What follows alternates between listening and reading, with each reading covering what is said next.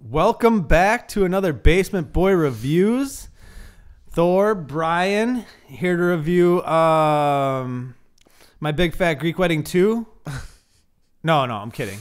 Um That was right across the uh, the thing from. I know it just came out this week. Why do you think I used that one as the Come on, I'm smart ish. I didn't say you weren't. I'm, I'm- just I'm, I'm just making a comment that it was So- literally right across from me. obviously we are reviewing um, Batman vs Superman. Our posters that have been in the back for a very long time are finally relevant. Mm-hmm. Um, I'm wearing a Batman mask. If you didn't notice, I'll point that out for you. And I have a Batman shirt on because yes, I am that guy. Um, so I've seen Batman vs Superman twice now. Brian, you've seen it Once. Once.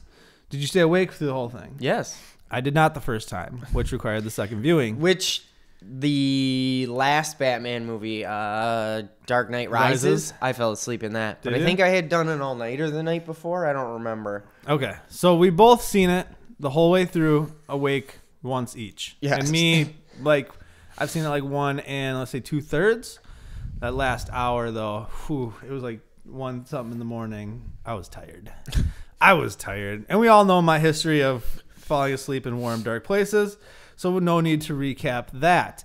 Um, well, so uh, this movie is been getting beat the fuck up Real bad. like the reviews have not been positive. Um, before we even get into how we feel about the movie, uh, it has taken a beating this weekend, like really bad, and I do not understand why. Because I thoroughly enjoyed that movie, uh, a lot more than I actually thought I would.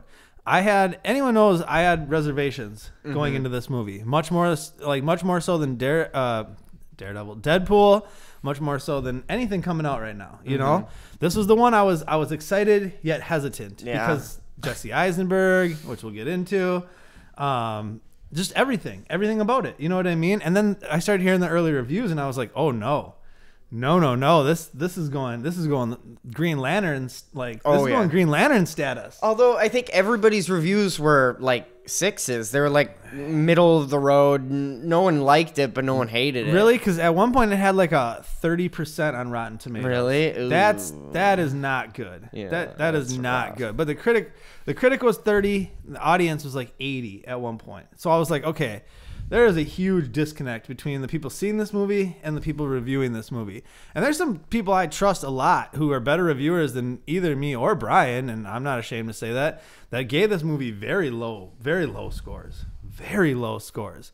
But we are not them. They are not us. We are Basement Boy Banter, so we have our own fucking opinions. And my opinion on the movie it's like every movie is not perfect, but it's a very, very good movie. This is a, a strong sequel to Man of Steel. This sets up what they're gonna do going forward, I think, perfectly. But wouldn't wouldn't wouldn't it make sense though that this is how that's the kind of reaction we get as a strong sequel to Man of Steel? Because Man of Steel kind of got the same sort That, of it was reaction. very, it was very, con- yeah. You know, not a lot of people loved it. Some people loved it. was- some people hated well, it. Well it was very mixed. Like you'd ask one guy and they'd be like, "I hate that movie so much," and then you'd ask another guy and they're like, "It was the best movie I've ever seen." See, I actually probably like Batman vs Superman more than I like Man of Steel. There's there's a lot about it, yeah.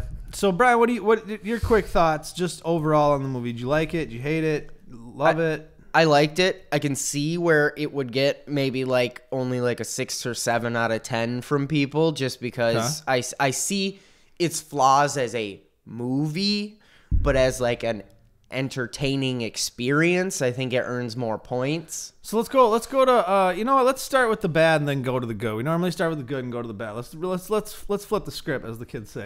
Um, let's start with some of the bad. You go. You said it's not a it, as a movie. How, and elaborate on that for me. Plot wise, it's pretty. It's I mean, it's simple as far as what's going on, and they it's easy to take simple concepts like that and make them fun and interesting, but instead they just kind of it was like they were lazy go, like going the ropes. Like when Okay. he uh-huh. gets those those letters is this spoilers? Yeah, oh yeah, this is. Oh yeah, yeah. You know, I didn't even get into that in the beginning. This is definitely spoilers. Uh, I'll put it in the description and shit, so they'll they'll know when they click on it. But yeah, spoilers, people, spoilers. We will be talking about everything about the movie that we liked and like all that sort of stuff. So yeah, spoilers. Do do do do do do do. Spoilers.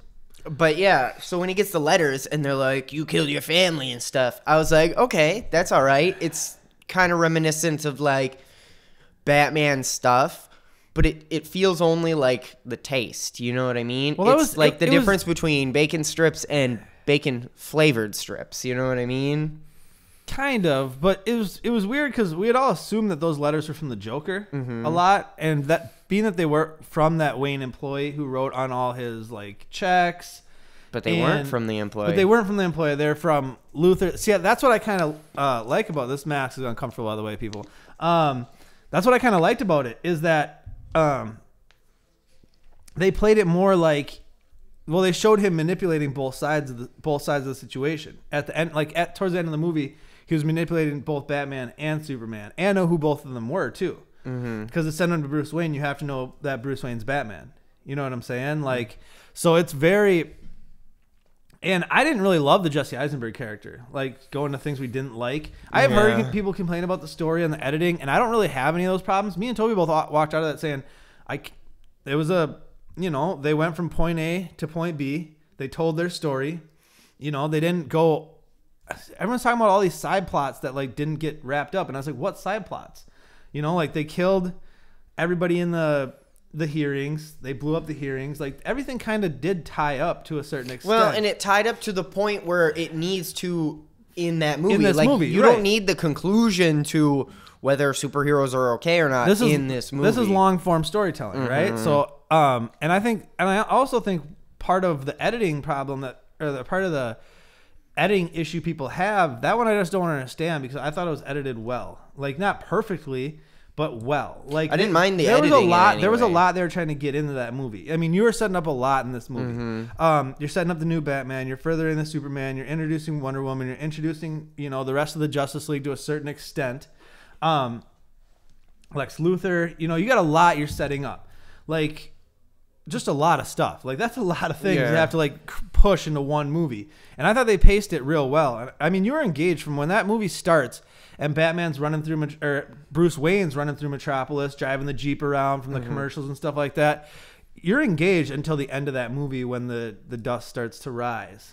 You know, on the uh, well, on the coffin. Mm-hmm. So, I mean, I, I'm, I'm, I was with the movie. I mean, I didn't love the Jesse Eisenberg thing. Everyone knows my biggest concern going into this movie was Jesse Eisenberg. Like that was the one thing I was more concerned about than anything else going into this movie. It's like And they told him the wrong role to play. they did, or he just did it. He just did it his way and like was like, screw it, I'm just gonna do it like this. You know what I mean? But I think they because there told was him cool Lex Luthor parts in it. kind of kind of he was more of i don't know he just wasn't the lex luthor that we've known in any iteration i, I think up until this point at least for me Like I, Martin said, he thought he was very. He reminded him of the Joker a lot. I was gonna say that at the end when he was like like Even being before that. crazy and stuff like a that in lot of that cell. movie, like when he was giving his speech or whatever, and he was kind of he like losing it. yeah and he, and he lost track of what he was saying like that's not the lex luthor lex luthor is very eloquent in public and like he's a madman behind the curtain but like he doesn't show those cracks in front i don't i just didn't love it but here's what i can say it didn't ruin the movie for me Oh, like, i didn't definitely hate. I, I didn't like him but i didn't hate him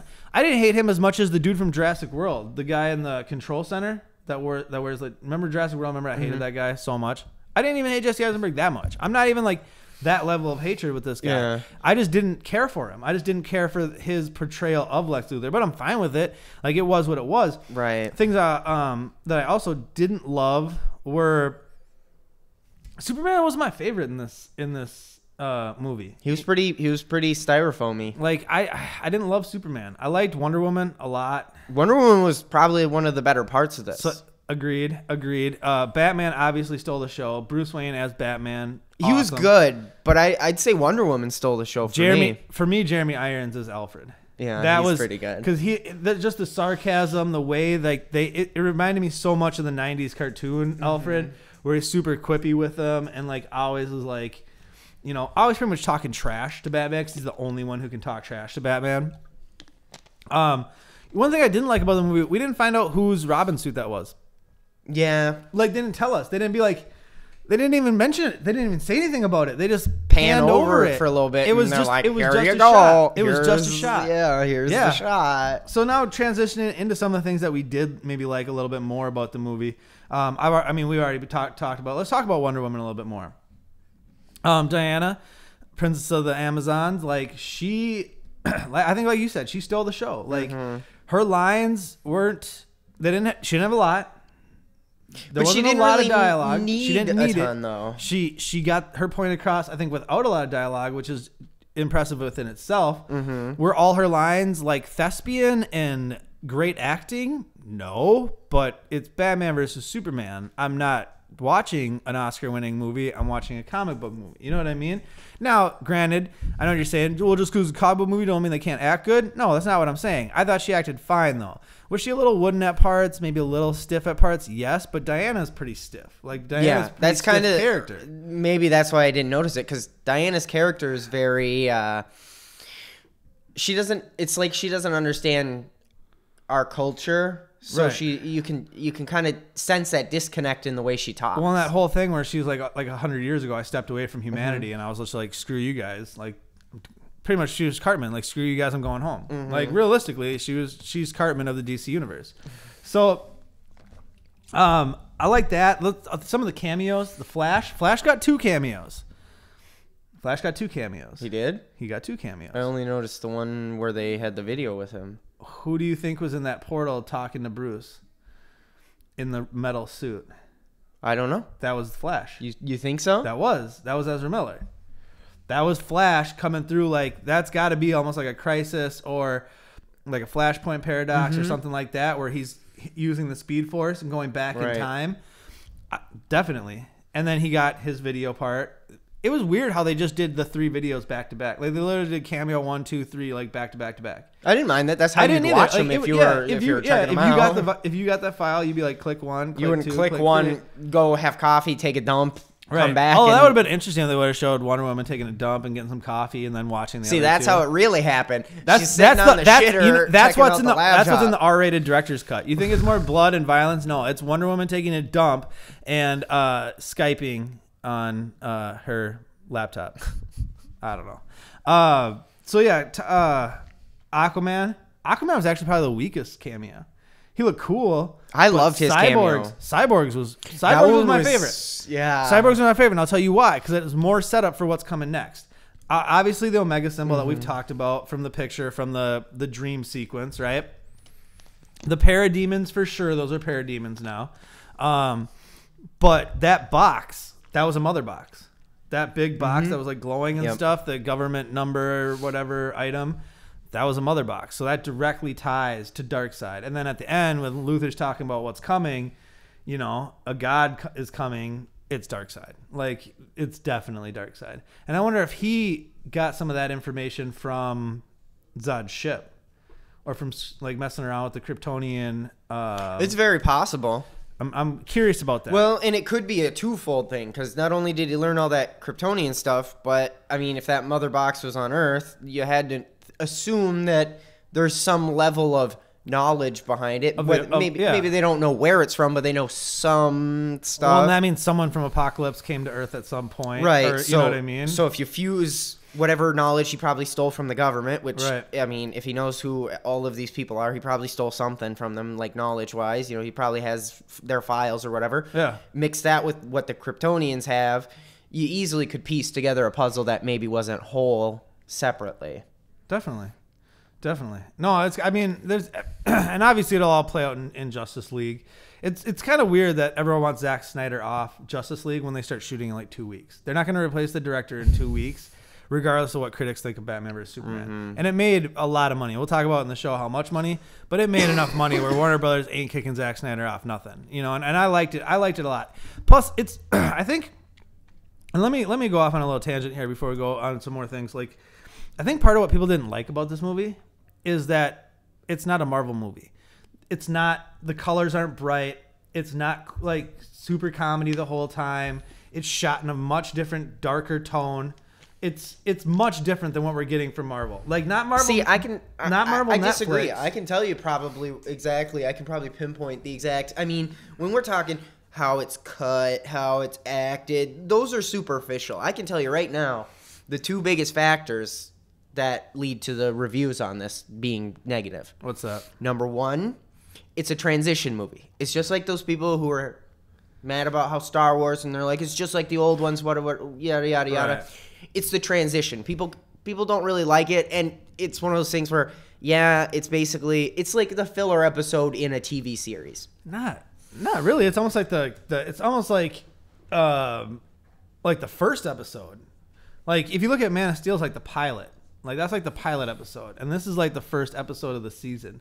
This tells you where the rest of the season's gonna go. You know what I mean?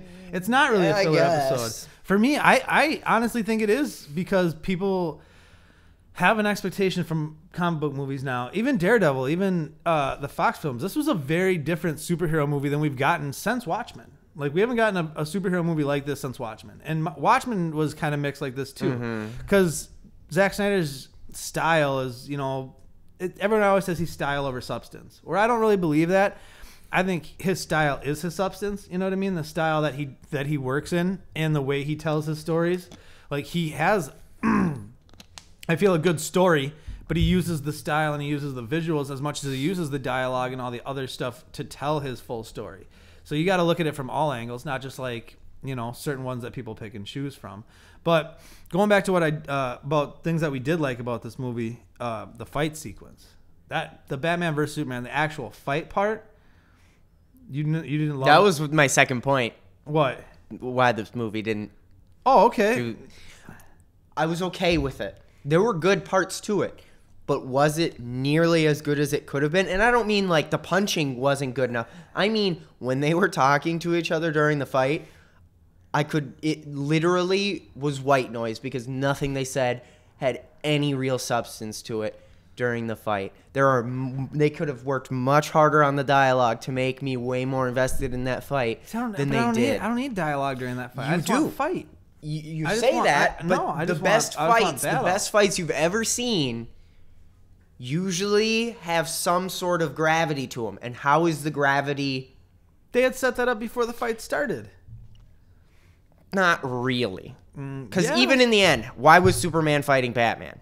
because he because to save his mom. So there was right. zero gravity there. It was oh he has to save his mom, so he doesn't actually want to fight Batman. And there was no Batman should have like stole the show and been like, "You're a son of a bitch. I'm gonna kick your ass." Like He did. He- spray him he- with the no. He real close. Mm, Uh, It was right. it was it was here. I was expecting See, and I think and I think it's more here. I don't think it's way up here or way down there. I think it's more you know right there. I think it was better than better than good, but not great. well, and it's not like it was bad. It just wasn't when you're expecting something this great. I expected it to happen earlier in the film. I thought I thought it happened way Yeah, later in the film. There was one part that I really did like in that fight that I didn't draw the connection to right away, but when I was talking to Martin, he made and I was like, actually I really like that connection there. So when he talks about being a hunter or whatever and the Waynes being a hunter, because I told Martin I was like, it's really stupid he made a spear out of the the Kryptonite? Yeah, I was Why? like, that's just stupid because Batman doesn't use spears. Why would you? Why would you pick a weapon you don't use? Like, it, it- you know, like I'm, I would have been happy with brass knuckles, a batarang, something. But then he was like, but the the hunter thing, and I'm like, that's actually pretty clever. Giving him a spear would've 'cause been he's a hunter, I would've you been cool know? Knuckles or a bullet or something too, but that's also not Batman either. The, well, But the, Knuckles would be, but, But not, the you know. implication with the spear, Right. it, it's way more symbolic now that when you mention that he's like, he's a hunter. He's going back to what the Waynes were, you know. He's When he had to weaken him with the gas, the kryptonite Mm-hmm. gas first, and then that would weaken him so that they could beat him. And then after he weakened him a couple times, then he was going to kill him with the spear. So I, li- I liked the fight though. I thought the fight was the Doomsday fight. You know what I really liked about that? Hmm. Wonder Woman's music. yeah. Yeah. Oh yeah, Hans Zimmer and Junkie XL's score of Batman vs Superman I thought was spot on. Because every time her, every time she come on screen, you know that like badass music would start playing. That was dope music. Like that, like Wonder Woman got the best music in Batman vs Superman. I think Wonder Woman just kind of shined in this because she was She did. She was awesome. She kicked ass. Yeah, she and there was never like a, a scene where she needed like it wasn't. She was Wonder Woman. You know what I mean? Right. She was a hero. She wasn't Right. like you know like oh she's not as good. Like she was could kick Batman's ass. You know, Oh, you're watching it and you're like. She you're can- like, Batman's the weakest out of these three, and For she's just whooping ass. It's you never once Although were like, oh, Batman, oh, Wonder Woman's Batman okay. whooping Superman and having him down like that and in that position. Like I think a lot of people, because I talked to a lot of people who aren't as like deep into the nurse stuff. Like how Batman even fight Superman, and for Batman to put him down like that and to like have him in the position where he could have killed him, that says a lot about you know Mm-hmm. Batman and stuff like that. So, well, then we got to the end. I didn't love the ending. I think that was one of my weaker parts. I don't think they needed for. Well, I don't. I don't think they needed to fake fake his death, or not fake his death, but for him to die. You know what I mean? Like Superman dying in the second film made zero sense to me. That's the one thing where I'm like, I didn't agree with that choice Uh, it didn't make sense to me, but at the same time, because you know he's not dead. see, the problem here is. I'm too optimistic with these movies because just like I was like Jesse Eisenberg, is, you know, he's actually probably good. He that we're oh we're yeah, just he the it thing. wasn't it wasn't a double, it wasn't a double turn. He was just that fucking That was him. weird the whole So time. I was so just that was wrong. Just- disappointing. But and it, so it's like part of me is like, you know, they're probably setting it up for something cool. You know, there's probably a reason they faked his death. But you know, it's just gonna be brushed under the rug. But like, part of me is like, I know they're gonna do something Hopefully, cool. with it. but I, I- I did kind of like how they set it up now that Batman and Wonder Woman are going to put together the Justice League. Mm-hmm. Because with missing Superman would be a reason why you need to gather these heroes together. That just came to me actually. Um, that makes sense. Mm-hmm. Taking Superman out of the equation, even by faking and not faking his death, but having him, by having him die, Right. Air quotes, um, sets it up to where now Wonder Woman and Batman have to assemble a team and then Superman can re you know introduce himself you know once he heals or Right, and, it- then it they'll takes him- realize they need him. and it too. could take him out of you know maybe the first half of Justice League the movie and make it more of like you know Batman and Wonder or Woman setting honestly, not even take him out of the Justice League movie, but it would make sense why he wouldn't be in any of these other superheroes. You know how everybody always Right, complains, well- why didn't Thor come in and help? or- Wonder Woman's going to take place in two separate time uh like timelines Mm-hmm. Suicide Squad that'll make sense if Suicide we don't know what when Suicide Squad take place is it place during Batman right, but even if you Batman ignore that, but like, okay, so if we have like, Well, and then you, the next movie he has is Justice League, so there'd be no reason for him to show up in any of these movies, realistically. I guess, You know what I mean? Mm-hmm. Like depending upon when they set them. But no, I get what you're saying because it is Mm-hmm. with Marvel. You're getting to that point now where it's like if they have their standalones, like, well, why didn't why didn't he just call in? Well, and even Ant Man, Ant Man made a good joke about it though. Like first thing, let's call in the Avengers. You know, and Pym's like, yeah, I'm gonna give my you know Mm-hmm. stuff over to a Stark. I've been keeping it out of their hands for you know 80 some years. All right, I don't know how we turn this into a Marvel discussion. Yeah. All right, let's bring it back. Bring it back. DC, DC, fully DC. I'm wearing a Batman mask. DC as it gets. Um, final score. Um, out of hmm, out of batarangs. Five out of five batarangs. What's your score? Out of five batarangs, what's your score? I'm not gonna rate it in batarangs. I'm gonna rate it in symbols that mean hope. Superhero. Okay, Superman symbols. Out I'm of gonna- five Superman symbols. I'm gonna rate it four, only because Man of Steel. I was lukewarm, like I liked it when I saw it in theater, but every time I've seen it since then, I like that movie more and more. Like I went from liking that movie to like I fucking love Man Well, of Steel. And I was gonna get to that point. Seeing it the first time, I was like, "That's a good movie." Seeing it the second time, I was like, "That's a much better movie than I thought the first time. Like much better than I thought." which thought is weird. time. I don't know why Man of Steel is set up. Maybe it's just Zack Snyder. It's Zack Snyder is like, they- wait. I, sometimes like you have to watch it. Like I saw Watchmen nine times in the theater. Well, and I don't think it's like necessarily because it's not like Man of Steel like pick up things it's not super complex, no, but it's just like It's it's, just- it's different nuances of how the right. film is It's made. just like Yeah. intric- small intricacies that you start liking about the. I don't know. It's no, hard I get, to explain. I get it. I They're get good it. repeats. So uh, I'm gonna give it a. I- thought I was gonna give it something. You know what? I'm gonna go. I'm gonna go four too. I I am because it's not. It's not perfect. You know, it's it's not a five out of five. You know, it's I didn't. We have Deadpool five out of five, didn't we? I don't know. I had more fun at Deadpool. I think Deadpool's I a gave different movie. close, but I don't think I, I gave it a max score. Oh, I, I, think remember. I can't. Oh, that was Hello Kitty backpacks, right? Mhm. Yeah, nice. I'm pretty sure I did. I love I love that movie. I don't know. I like I like Batman vs Superman a lot. Different movies, different movies. You can't compare, you know, apples and oranges. But uh, as far as Batman vs Superman goes, we're both go uh, go see it. Don't listen to what people are saying. It's a lot better than what critics say. It's not. It's fun. perfect. It is. It's a good if time. you're going to watch the Oscar winner this year, not Batman versus Superman, but if you want to go, waste the two and a half hours, two hours forty five minutes, does, and it doesn't have seem fun. it doesn't seem like it's that long. Oh, No, there's, it no- blows there's no by there's no post credit scene, so don't waste your time waiting around for a post credit scene because that's not DC's thing.